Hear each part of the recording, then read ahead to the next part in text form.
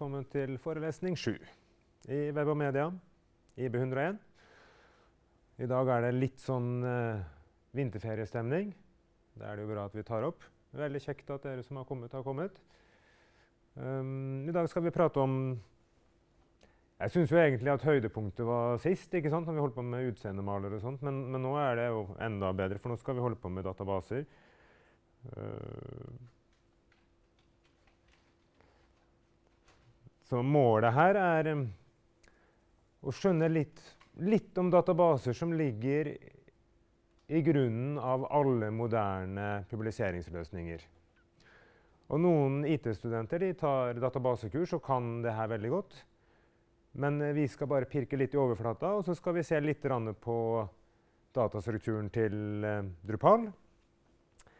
Og så skal jeg etter hvert uh, motivere litt for hvorfor vi har databaser. Så det her blir ikke primært for IT-studenter, men for alle dere andre. Dere som er IT-studenter, kan tenke ja, ok, kanskje det var nyttig, kanskje ikke. Så når vi snakker om database, hva, hva er det egentlig? Jo, da er det egentlig bare en samling av data som er strukturert. På et eller annet vis. Altså informasjon som er strukturert. Og vi pleier å strukturere det i tabeller i en database. Vi kommer litt tilbake til det, men en tabell det er rett og slett det samme som et uh, regneark, hvor du har rader som er delt inn i kolonner. Det er informasjon, sånn er informasjonen din lagra i databasen, i masse forskjellige tabeller. Ofte når man sitter i en bedrift, så har man ikke alltid, men ofte et stort regneark som inneholder masse, masse informasjon. Hvis man tar et sånt regneark og gjør det om til en database, så vil det typisk bli delt opp i flere tabeller eller flere regneark. om du vil. Og Det skal jeg prøve å vise etterpå hvorfor det er fornuftig. De grunnleggende operasjonene i en database de har vi et fint huskeord for. CRUD, eller CRUD. Create, read, update og delete. Altså, du kan legge inn informasjon, du kan lese det, du kan oppdatere det, eller du kan slette det. Så alle systemer må støtte det her. Og det er helt grunnleggende operasjon. Hvis ikke så klarer vi ikke å gjøre det vi nettopp gjør i Drupal. Vi lager en ny artikkel, vi endrer artikkelen, og kanskje vi sletter den. Når er det vi leser en artikkel, da? Det er når vi viser innholdet til de som kommer på besøk. Ikke sant? En sånn database kan være organisert som bare filer på et filsystem. At det rett og slett bare lagres som filer, og du leser det rett fra filene. Og et eksempel på det, det er SQLite. Og mange servere kan ha det integrert. Men det som er vanlig, det er at du har en egen databaseserver. Du har altså et eget en egen server som står og kverner, som har lest inn alle tabellene, og som lar deg spørre mot dem. Og de vanlige, Den vanligste databasen der når man holder på med holdt på å si open source, altså gratisløsninger, det er MySQL, eller MySQL, eller MariaDB, som er en variant av den. Og så finnes det mange andre, og det finnes kommersielle, og det finnes eh, MS SQL, som er fra Microsoft osv. Men googler dere litt, så vil dere se at uh, MySQL er den som er brukt aller mest fortsatt. Trenger vi en database? Jo, det trenger vi fordi vi skal støtte de her operasjonene her med å endre ting. Oppdater, altså endre, oppdatere og slette. Hvis vi bare hadde noe som var opprettet én gang, og som aldri ble endra, ever, så hadde du ikke trengt noen database. Da hadde du lagd det som et Word-fil. Så hver artikkel var en Word-fil, og that's it. Eller en tekstfil, eller hvilket format du har lyst til å lagre det i. Men sånn er ikke et typisk nettsted. Det er dynamisk, ting blir endra. Det er knytta til forskjellige brukere, til forskjellige tidspunkt, til forskjellige tagger som gjør at vi har lyst til å generere dataene på nye vis. Men hvis det var sånn at du visste at alt innholdet ditt vises alltid på samme vis, ja, da kunne du bare skrevet det sånn med en gang. da. Hatt en fin HTML-editor og ferdig med det. Trenger ikke noe publiseringsløsning da. I det hele tatt. Men det er ingen som jobber på den måten lenger. Så det vi bruker, det er en såkalt relasjonsdatabase. Altså MySQL er en eh, relasjonsdatabase. Og det betyr jo rett og slett at det er relasjoner mellom tabellene. Man knytter tabellene sammen. For jeg sa i begynnelsen at du kunne hatt et stort regneark og så deler du det opp i mindre biter. De må jo henge i hop. Og det er relasjoner. Det skal vi vise etterpå. Det er ikke så vanskelig. Eh, relasjonen er som regel en ID.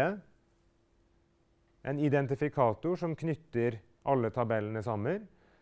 Og ofte så er det bare et nummer, rett og slett. Det ser vi lett. SQL har jeg sagt 14 ganger nå allerede. SQL Standardized Query Language. Altså standardisert spørrespråk. Som gjør at alle programmeringsspråk kan spørre mot de databasene her. Når vi deler opp det, da, alle dataene våre i tabeller, så gjør vi det på en spesiell måte som kalles normalisering. Og da er det sånn at De fleste klarer å lære seg de tre første formene for normalisering. Og så kommer det fjerde og femte form, osv. Og, så og da begynner det å bli veldig, veldig vanskelig. Så jeg kommer til å nevne første form kanskje i dag. Det er ikke sikkert jeg kommer til å snakke om andre og tredje form. Men da må jeg bare si fra at den der ordet med blå strek under der, det er en lenke sånn som vanligvis. Så hvis dere går inn der, så peker akkurat den der peker på Wikipedia-artikkelen. Men hvis man leser på engelsk, så fins det masse der ute, og masse eksempler eh, på det her med normalisering.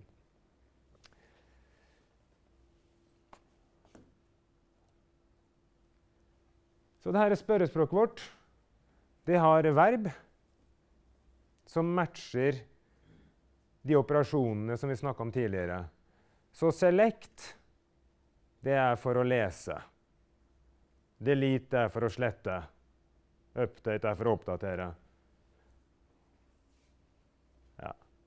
Og insert, det er det du gjør når du oppretter en ny ting. Så du har fire verb i spørrespråket, og alle databasene støtter de samme fire operasjonene, bare at da heter de create istedenfor insert osv. Men det, det henger i hop, det her. Dere kommer veldig langt ved å bare vite om det her begrepet som select. Og så har du da noen ekstraord som du bruker for å begrense hvor du skal hente data fra. Så da kan du si fra, eller from, da, som det heter på engelsk. Og så kan du si where, hvis det skal være en eller annen betingelse. Og så har du det som blir litt, litt vanskelig, det er når du begynner med join. For da skal du slå tabellene sammen. Og det er den biten her som dere ikke trenger å skjønne noe om. Dere som ikke tar databasekurset til han eh, Danielsen. Men jeg tenkte allikevel jeg skulle vise deg i POP MyAdmin hvordan det fungerer. Sånn som man har sett det. Og så uh, skal vi bruke litt tid på å motivere det her med å dele det opp i tabeller, og som er knytta sammen. For det går faktisk an å vise det her og få alle sammen til å bli enige om at det er en god idé. Hvis du går inn i PHP MyAdmin og ser på tabellene i Drupal, så vil du se at det er mange. Litt for mange for en som ikke har sett på databaser før. Og Grunnen til det, det er at Drupal deler det opp mer enn nødvendig for å gjøre det fleksibelt. Noen av dere har prøvd å lage innholdstyper. ikke sant? Så står det 'add field'. Når du legger til et felt, da opprettes det en tabell. Og For å kunne få til det der å være sånn pek og klikk fra nettsida, så må datastrukturen være så fleksibel. Så Derfor så er det ikke, 70 tabeller før du i det hele tatt har begynt å gjøre noe som helst. Som sagt, Du kan sjekke din database ved å gå inn ved PHP MyAdmin. Jeg har lenka til den før. Hvis du ikke husker den adressen, så kan du klikke på den lenka der i presentasjonen. Og da husker vi at du logger inn med brukernavnet og passordet som dere fikk tilsendt helt i begynnelsen av kurset. Jeg skal vise dere hvordan dere kan finne tak i det hvis dere har glemt det eller sletta e-posten. Ja, sannsynligvis så har dere glemt det fordi det var en helt random tekstering, så jeg håper at ingen husker den. Da har de i så fall klisterhjerne. Grunnen til at vi snakker litt om det her, det er for at dere skal skjønne hva views er for noe rart. Og views det skal jeg ikke vise før neste uke. Vi kunne tatt det nå, men eh, for de fleste så har de nok å holde på med. Husk det her med å lage deres egne innholdstyper og sånn. Det er på tide å gjøre det hvis dere ikke har gjort det. Så views det er rett og slett et grensesnitt til spørrespråket SQL. Som lar deg bygge opp spørringer og lar deg hente ut dataene uten å vite noe som helst. Du vet ikke at det er en database bak, eller noe som helst. Du bare forteller hva du vil vise. Og De som har prøvd det her, de har allerede fått det til, men vi skal vise det. Og det det egentlig er, er en listegenerator. Det er bare at det er du som bestemmer hva som skal vises i lista, og hvordan det skal vises. Wordpress har noe tilsvarende, men det her er kanskje juvelen i Drupal. Og typisk en funksjonalitet som man betaler mye for i kommersielle løsninger. Så det skal vi ta neste gang. Og det var det jeg skulle si. Og nå har jeg lyst til å vise. Så det første jeg skal gjøre, det er å bare poengtere en gang til at de her forelesningene som jeg viser, og som dere ser på opptak, de ligger altså på hjemmesida, sånn som dere kan klikke dere inn på de, og dere kan se på de lenkene som er her, og klikke på de. Jeg har merka at når noen holdt på med den HTML- og CSS-oppgaven, så var det veldig få som faktisk gikk inn på de lenkene og slo opp på CSS-egenskapene for ei liste for å finne svaret på hvordan man skulle gjøre det. Men det hadde vært den letteste veien, istedenfor å google som tullinger eller bare hva dere holder på med. Så de her lenkene er ikke tilfeldig valgt. Så der. Sånn ser det ut hvis du kommer på PHP MyAdmin-installasjonen eh, for det kurset her. Og du logger da altså inn med brukernavnet for databasen din og passordet for databasen din. Dette er teststudenten min. Brukernavnet var vel eh, bare studentnummeret. Når du kommer inn Jeg skal bare vise kjapt det her. Så så er det to databaser som vises. Det ene er Information Schema, som er rett og slett for uh, MySQL, som dere ikke trenger å se på. Og det andre ser dere på navnet. Oh, ja, IB101. Ja, det er den vi skal inn på. Klikker du på den, så folder det seg ut. Og du ser at det har blitt scrollbar her borte, og det er til og med pil, for det er to sider. Så her ser vi at det er ganske mange tabeller. Jeg skal ikke gå inn på de tabellene enda. skal bare ha det oppe. Men hver sånn enkelt som er i venstremenyen her, det er en tabell, bortsett fra de som, hvor det står en sånn eh, mappe foran. Da er det gruppert, så det er flere inni. Det er rett og slett bare en for å få en mer kompakt visning. Okay? Det, er med, det, er ikke noe spesielt med den der nodetabellen der. Det er bare at alle de fire tabellene starter med det samme ordet, så PHP min velger å vise det i én mappe. Men tabellnavnene er altså de der. Så det her skal vi snoke litt inn i etterpå. Men jeg skal på en måte motivere det her litt først. Jo, jeg skulle vise dere hvordan dere fant ut eh, brukernavn og passord hvis dere hadde glemt det. Eh, eller sletta e-posten. Jeg sletter masse e-post. Så det er to måter å gjøre det på. Du får ikke tak i denne informasjonen ved å gå, i Drupal-grensesnittet. Det går ikke. Så det, nå skal vi først vise den løsninga for de som bruker eh, kommandolinja og drusj.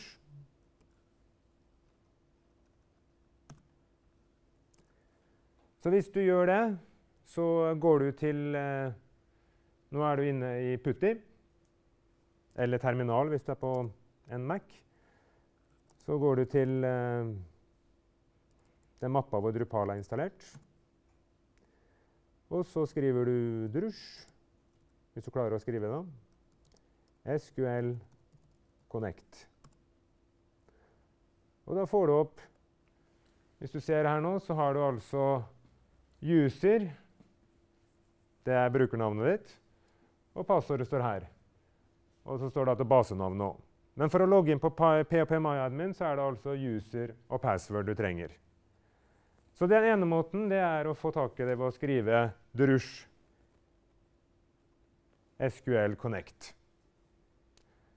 For de som syns det der kommandolinja er håpløs, og det er jo forståelig nok ganske mange, så kan man bruke FileZilla. Og da skal jeg logge inn som han teststudenten igjen.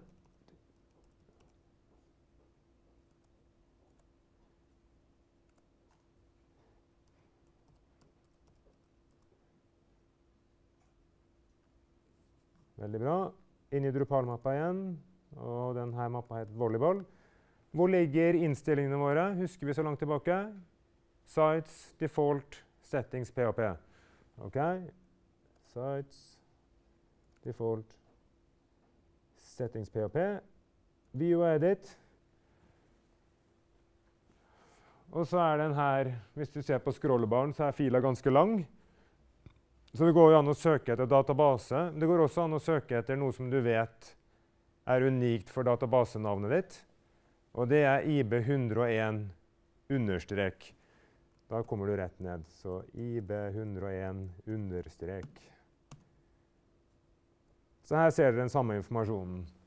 Der står det databasenavnet, username og password. Her nede. Men det enkleste er selvfølgelig hvis dere har tatt vare på den e-posten som dere fikk for uh, to måneder siden, for der står det jo i klartekst uten noe mer mas. Ok, nok om det her. Da skal jeg sette meg ned og så skal jeg prøve å vise dere hvorfor, hvorfor vi har relasjonsdatabaser. For det, er jo så altså det blir bare ord. Det må jo gå an å vise, faktisk vise dere det. Så det skal jeg prøve å gjøre. La oss tenke oss at vi er intelligente folk som skal lage et system som lagrer all informasjonen om artiklene og sidene vi skriver. Så hvis vi skal gjøre det Nå gjør jeg det bare i en tekstfil istedenfor å gjøre det i Excel. Men jeg kan gjøre det i en tekstfil, og da vil jeg bruke vertikal strek for å skille feltene fra hverandre. Så det første jeg vil si, det er at uh, dette er en artikkel. Bare for å si fra hva slags type innhold det er. Og så har jeg en strek. Jeg kan forresten skrive en sånn header over. Det er helt i orden. Og så har alle saker en tittel. Så denne artikkelen her, den heter 'Test'. Dere vet jo at jeg er kreativ. Sånn. Og så har eh, alle artikler og grunnleggende sider de har litt tekst. Skal vi for moro skyld kalle det kropp? Nei, drit i den der. Sånn. Og kroppen den er jo ofte veldig lang, for der er det vi skriver HTML-koden vår osv. Men for å få det her til å passe på ei linje, så skriver jeg selvfølgelig bare 'hei'. Hva slags annen informasjon er det viktig å vite om en artikkel? Ja, når den er skrevet, kanskje? Ja. Dato eller tidspunkt, eller hva man velger. Så la oss nøye oss med dato. Så i dag er det 25.2.2016. Hva mer pleier vi å ha med?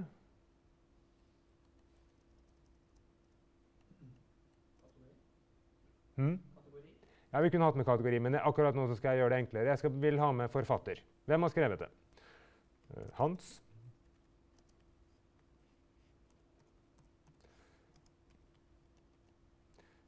Og For å kontakte forfatteren så vil du gjerne ha med hans e-postadresse.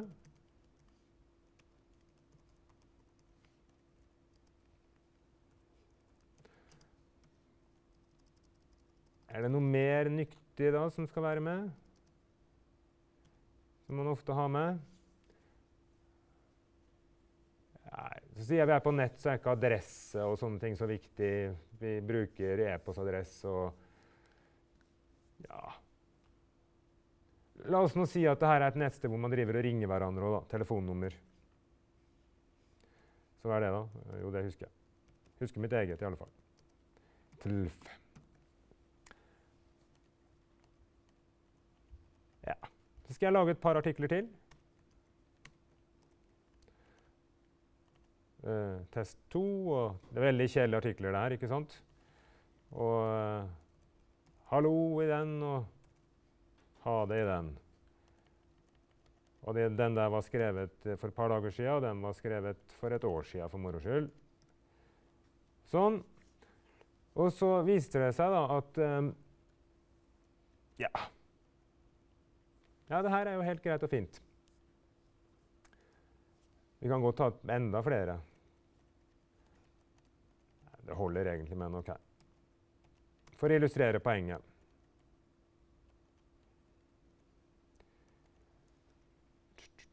Vi burde egentlig tatt med litt adresse òg, men uh, det holder, det her. Det er greit. Og så uh, viser det seg at, uh, at jeg får ikke lov til å bruke min private adresse lenger. Jeg må endre til jobbadressa mi på det nettstedet her. Hva gjør jeg da? Da går jeg selvfølgelig gjennom hver eneste linje og oppdaterer. Så For å illustrere hvor kjedelig det er, så går jeg inn der Han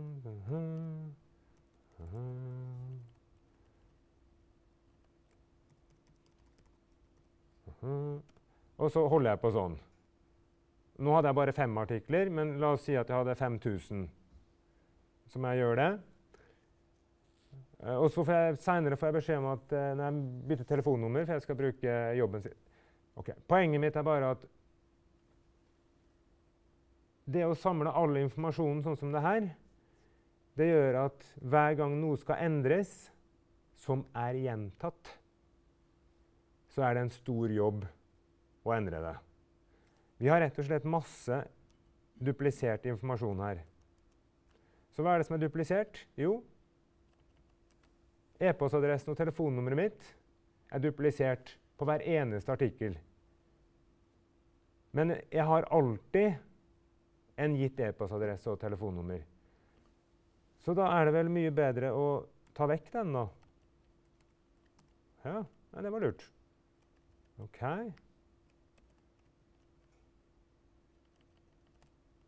Mm -hmm. Det var feil. Ja, vi prøver en gang til, da.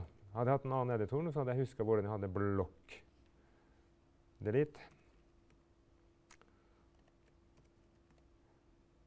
Så hold on. Det er veldig fint at det går sakte, for da skjønner dere hvor irriterende det er. Sånn, og så Der, da. Sånn. Nå nå har, jeg unngått duplisering. Og så skal jeg ta med de headerne mine her nå. Det jeg har gjort nå, det er at jeg har lagd to tabeller. Er dere enige? Jeg har én tabell der oppe som har artikkelen min med type Eller som har innholdet mitt med type, tittel, kropp, dato og forfatter. Og nede her så har jeg en linje som inneholder e-postadresse og telefonnummer. Men for at det skal gi noe mening, så må den ha forfatter først, ikke sant? Og forfatteren var Hans. Ser dere nå plutselig ingenting er duplisert? Magi. Det her er rett og slett sånn en relasjonsdatabase fungerer. Istedenfor å ha alt samla helt flatt i et digert regneark eller i lange rader, så deler du det opp i to tabeller. Så nå har vi altså én tabell som inneholder artiklene, og en tabell som inneholder brukerne. Jeg skal gjøre litt mer her, men mens vi venter nå, så skal jeg hoppe tilbake til Drupal. Og så skal vi se her. Se der, ja. Users. To brukere. Og så, hva heter, hva heter innholdet i Drupal? Jo, det heter jo Node. Og det var den der jeg skulle ha. Bare Node. Her ser vi at vi har fire stykk. Visninga i PHP Maya Vi skal komme tilbake til det. Men, men fall, Vi har det samme oppsettet. Ok, Så jeg, jeg gjør tydeligvis noe lurt her. Men så skjedde det noe rart. Jeg, synes, jeg ble så lei av å hete Hans, så jeg hadde lyst til å hete Hanse Mann, for det var så gøy. Ok, hva skjer da? Jo, da må jeg jo inn da, og rette 5000 artikler, for det står jo fortsatt Hans som forfatter. Og så må jeg rette det én plass i den users-tabellen der nede. Så la oss bare, For å gjøre det tydelig så skriver vi brukere kolon. Det er liksom tabellen. Og så har vi en tabell her oppe som vi kaller eh, innholdet bare. Så det som har skjedd, er at vi har rett og slett duplisert navnet mitt òg. Hvordan kan jeg unngå det, da? Jo, nå kommer den her ID-en som vi snakka om. Så istedenfor å bruke navnet mitt her, så innfører vi en ID, f.eks. UID, som står for user ID. Og så tar det bare et tall, som er unikt. Og Den første brukeren han får tall 1. Husker dere i Drupal? User1 er han som er spesiell. Aha. Og så her borte, da, hva gjør vi i innholdstabellen? Jo, vi peker ikke lenger til forfatteren. Vi peker til UID-en. Uh, ja, én. Kjedelig. Tydeligvis har jeg skrevet 13 tidligere her, så det vil den foreslå hele tida.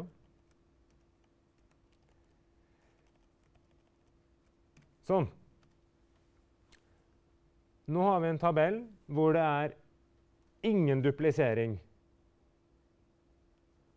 Og det er helt frikobla, men det er relatert til hverandre gjennom det som kalles en nøkkel.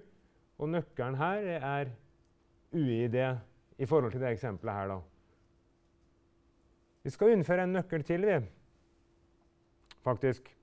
For det var noen her som hadde lyst til å ha tagging. Ikke sant? Så la oss introdusere tagging her. Men er dere med på det her?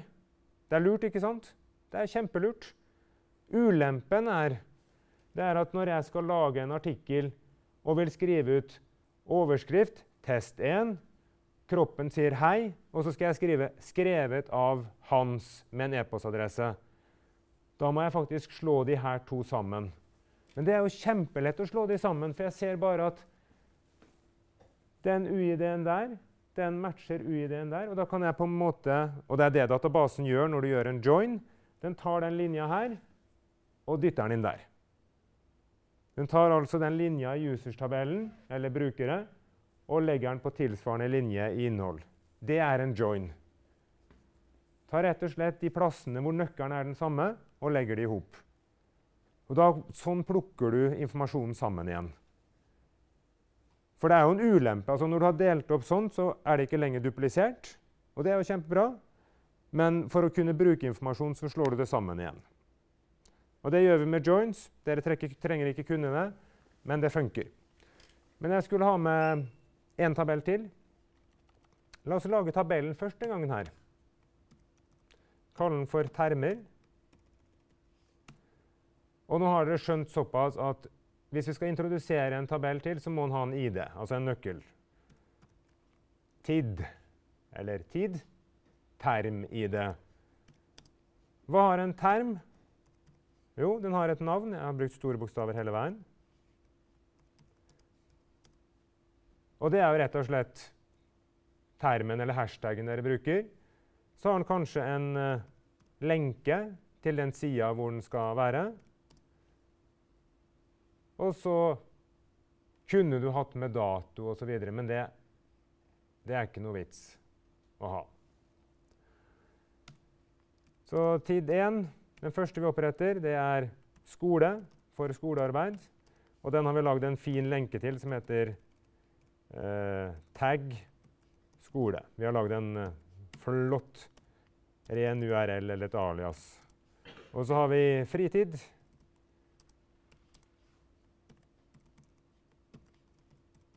Osv. Så, så hvis jeg nå har lyst til å bruke de her for innholdet mitt, jeg har lyst til å tagge med de, så uh, kan jeg lage en ny kolonne her som heter uh, did. Og så kan jeg bare peke til dem ved å skrive ID-en. Så den bruker tag 1, og den bruker 2, og den bruker 1, og enda en ener, og til slutt en toer. Hvis dere har lyst til å tagge med flere tagger, så kan dere f.eks. bruke komma imellom. Det bryr jeg meg ikke om. Og Hva skjer nå da hvis du har lyst til at du syns at skole var feil? Det burde hett skolearbeid. Hvor mange plasser må du endre? Én. Altså, det her er, jeg får litt sånn gåsehud, for det er så lurt. og så er det så banalt. Så alle de her artiklene da, den på linje 6, 8 og 9 som har brukt den taggen skole, hvis de bestemmer seg for at det skal ikke hete skole, men skolearbeid, ja, da går den hit, da. Og så endrer du til skolearbeid. Det klarer jeg selvfølgelig ikke å skrive. Ikke på andre forsøk engang. Og så bestemmer jeg for at uh, taggen skal være skolearb. Hele veien unngå duplisering.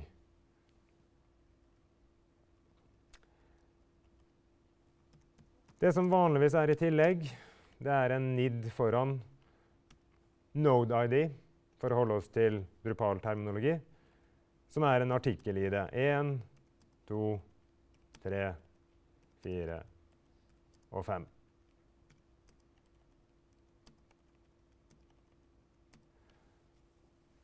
Og da kunne du, hvis du hadde lyst, ha trukket ut det her med termer ut i en egen tabell, f.eks. Kunne gjort masse rare ting, men, men, det trenger vi ikke gjøre. Um, ja, skal vi gjøre noe mer? Nei. Jo da, vi kan gjøre én ting.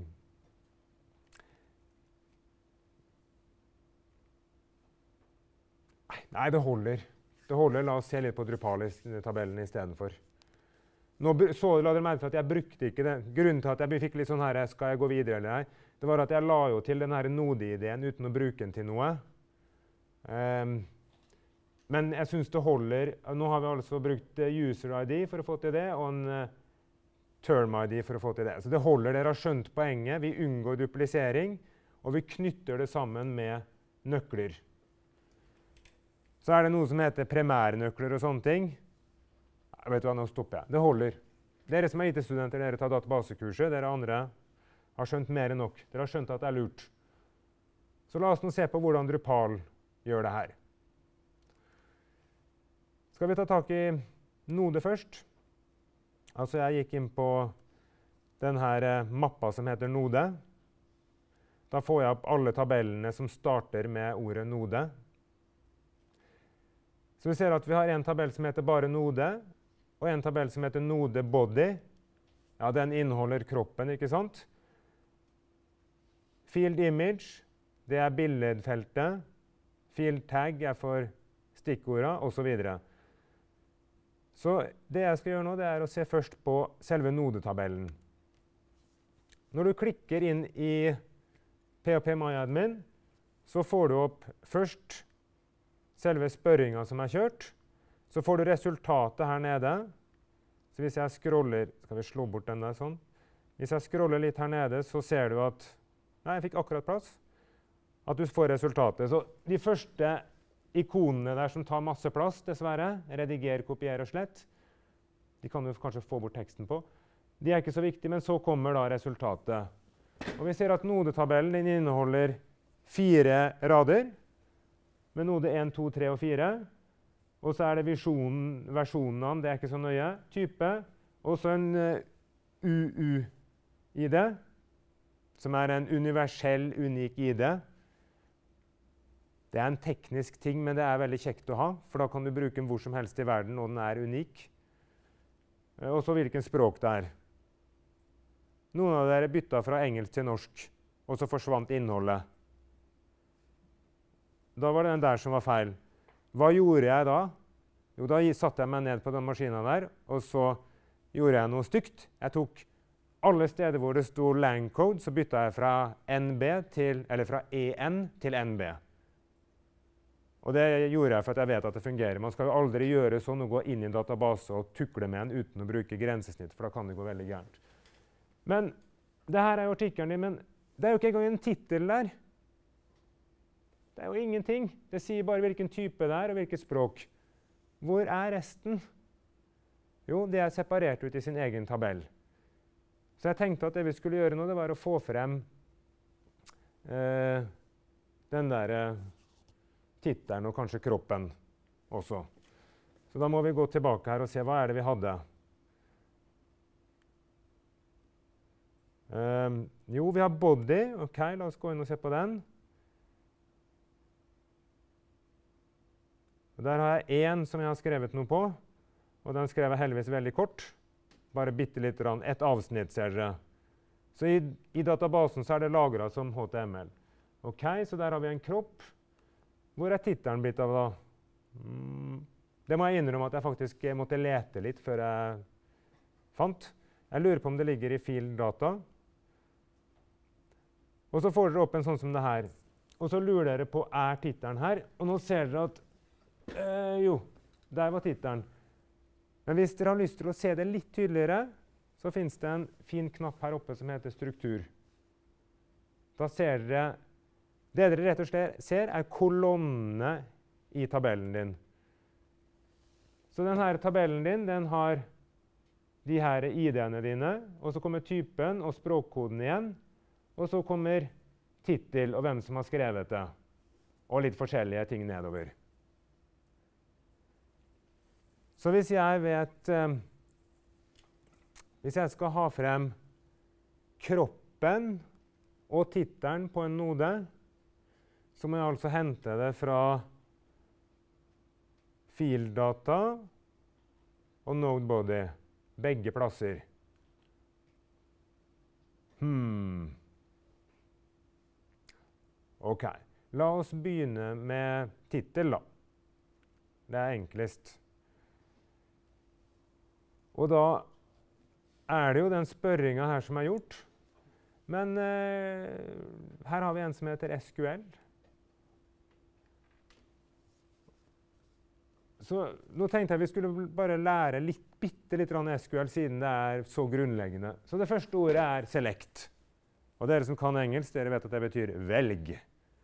Og stjerne det er ofte et tegn for hva som helst. Eller med andre ord alt. Og 'from' det skjønner dere, for det betyr 'fra'.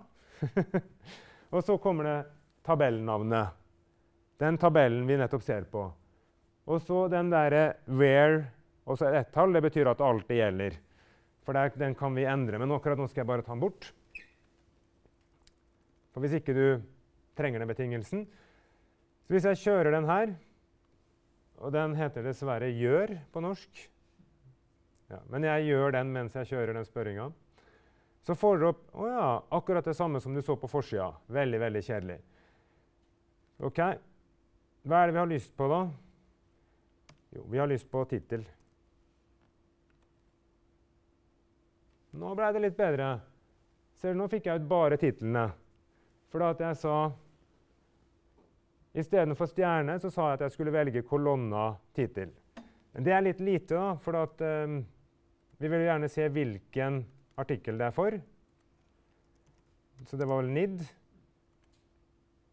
Så da ser dere at for artikkel 1, eller node 1, da, så er tittelen 'Ingenting om volleyball på TV', og så innendørstest, sandtest og Per person. Så hvordan får jeg tak i kroppen, da? Og nå kommer det som på en måte er Det er ikke vanskelig, men altså det her skjønner dere. Select, og så sier dere hvilke kolonner dere skal ha. Men hvis du skal ha kroppen, så var den altså i den tabellen som het Node Body. Og så vet du at de har samme nøkkel. Niden er den som lar deg velge den ut. Så kanskje vi faktisk kan slå de sammen. Så det må vi prøve å gjøre.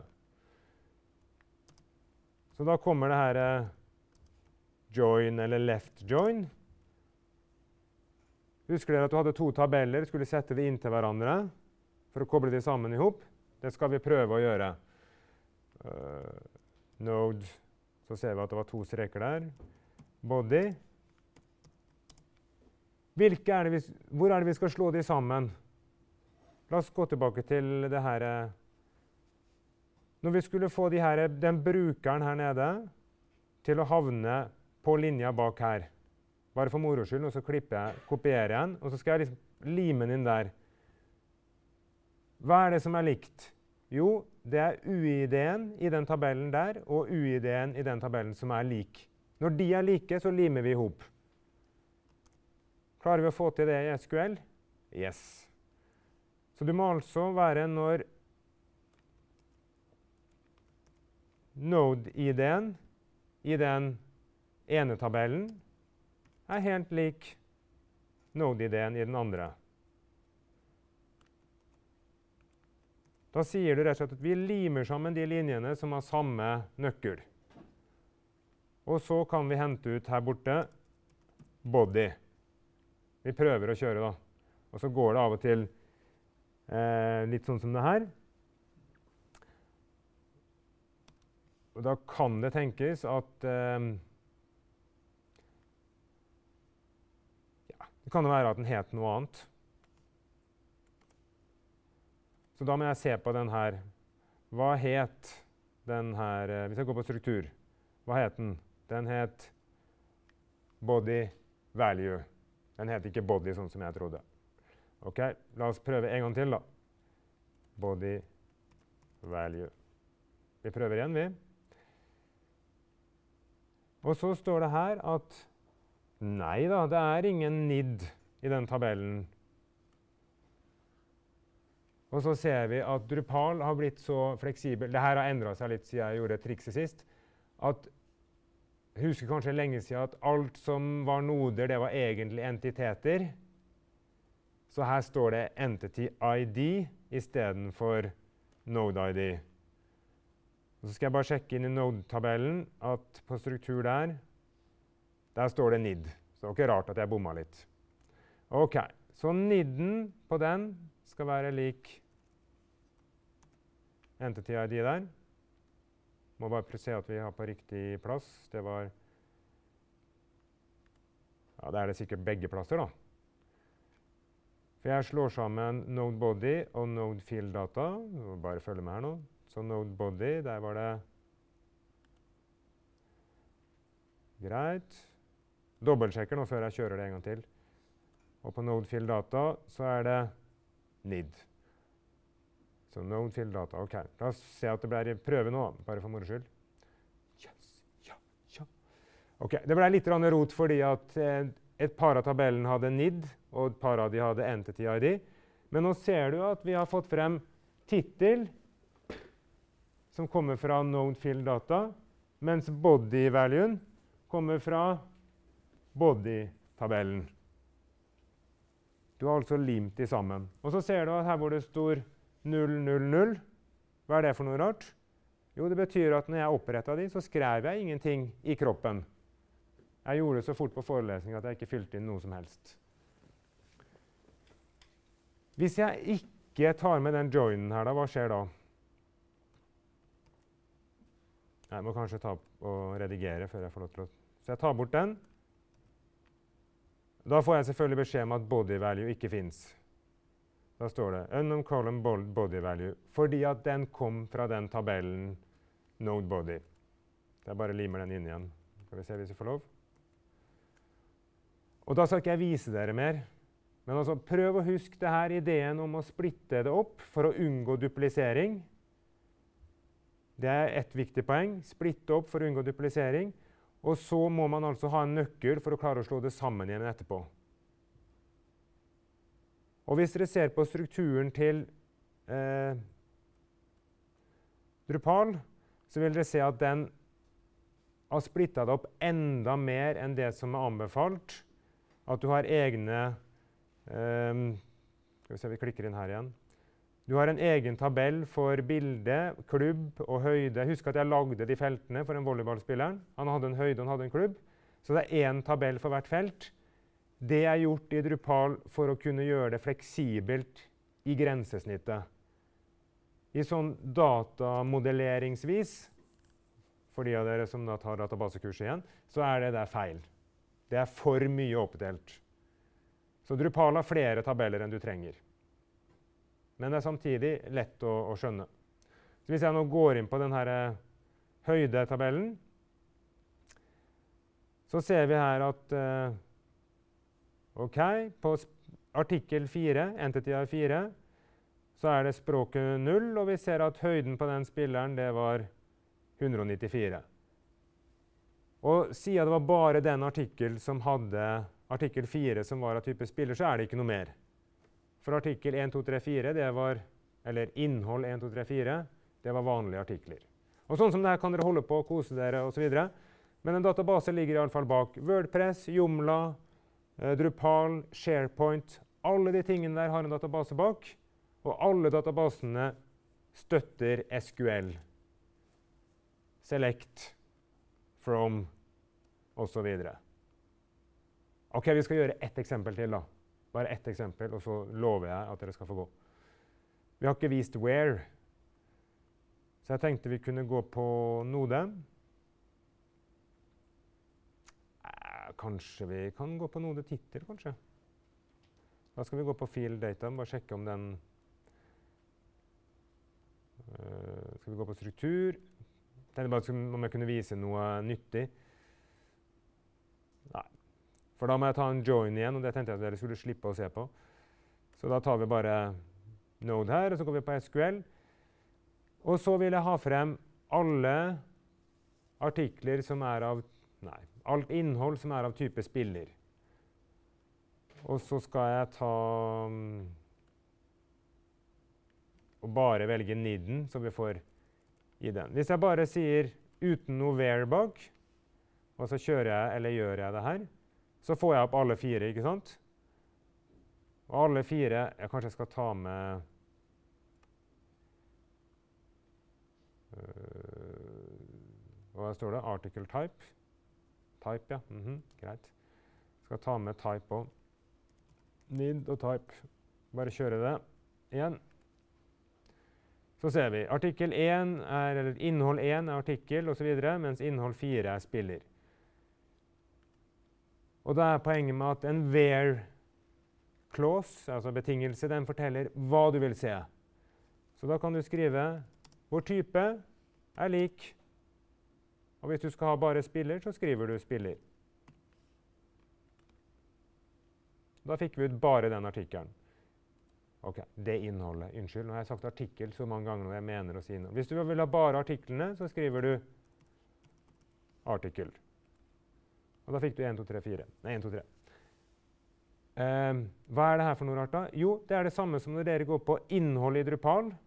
Innholdslista di, så står det en sånn boks øverst hvor du kan filtrere på content type. Når du gjør den filtreringa, så er det nettopp det her du gjør. Så da burde jeg kanskje vise det i samme slengen. Så hvorfor ikke? Håper jeg logga inn, så jeg slipper det.